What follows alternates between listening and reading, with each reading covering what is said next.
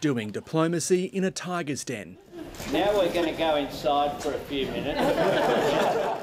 Showcasing Indonesian wildlife and culture on Sydney's harbour side.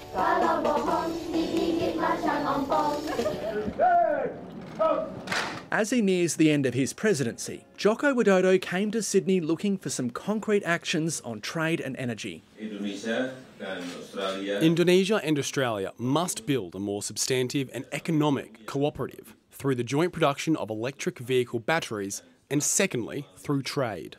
But Australia only offered to ease some visa rules for Indonesian citizens, addressing a long running sore point with Jakarta. Making an enormous difference in removing uh, bureaucratic impediments to our closer relationship. The two countries have agreed to work together on clean energy. Indonesia has ambitions to become a global hub for producing batteries and electric vehicles. For this, it'll need lithium, which Australia has in large supplies. There'll also be a boost to Indonesian language teaching in Australian schools.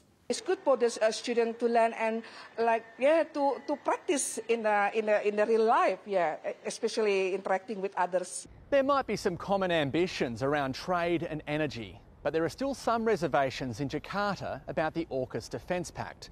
Canberra has tried to ease concerns about this, and it also wants to find ways it can work alongside the Indonesian military. Indonesia is a very big neighbour, and so uh, it has to be uh, very, very, very prominent in the way we look at the world. Ensuring closer ties between neighbours in the hope of steadying the waters in the Indo Pacific. Gavin Coote, ABC News, Sydney.